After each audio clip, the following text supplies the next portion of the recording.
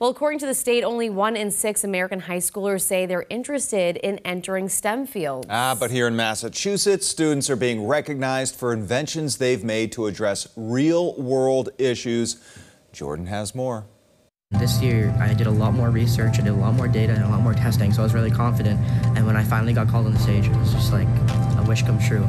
Srivabu Paretla is starting high school in Sharon this fall. He is one of three award winners from the state honored for their creations at the RTX Invention Convention by Henry Ford. I did this for two years. First year, I didn't get the awards or anything. Less than 80 K 12 students were recognized in the national competition where students develop solutions to problems society faces in safety, climate change, and health. Puretla won third place in his category for his invention ROS, which stands for rain or shine. You can just put it right into the casing, just like that.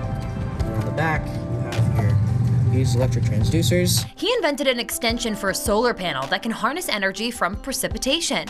He tells WBZ he came up with it after his parents had a solar panel consultation on a rainy day. There has to be a way to generate electricity from our house. It has to be uh, efficient. Pretty impressive, and he's not the only student excelling here in Massachusetts. We use a comprehensive predictive model that uses three biomarkers uh, sodium, potassium, and phosphate. Anushka Nair and Dylan Streak are both rising seniors at Hopkinton High School. This summer, they won the Patent Application Award for their creation, the GlycoCharge. We actually polled individuals at our local senior center, and they said that pricking their finger can often deter them from wanting to measure their glucose levels. The non-invasive electrolyte enhanced glucometer is a small wearable device that records concentrations of electrolytes in the blood.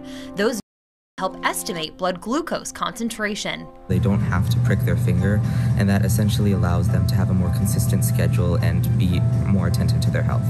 For the three students, it's not just about applying their education on a national level, it's about making a difference in their communities and helping others, and this is just the start.